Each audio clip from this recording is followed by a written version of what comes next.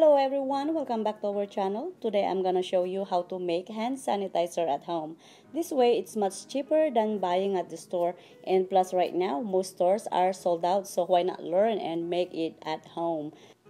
I use 100% aloe vera gel and I need 1 3rd cup of aloe vera, 91% alcohol and I need 2 3rd cup of alcohol, Make sure all the utensils you are using are very clean.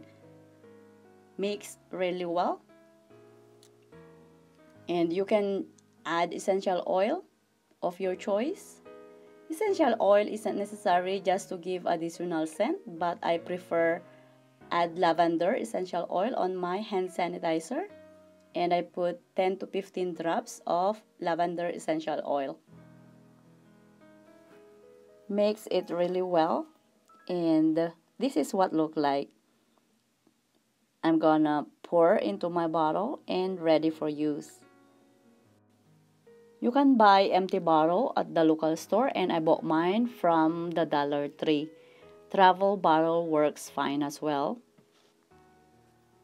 Hand sanitizer recipe to be used only as an alternative to soap and water Washing your hands often with soap and water is the best way to help keep them clean and protect yourself and your family from getting sick.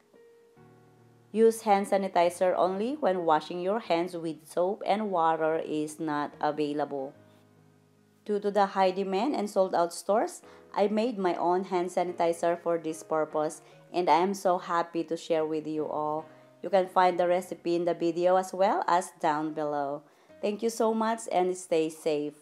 God bless everyone and hope you enjoy watching.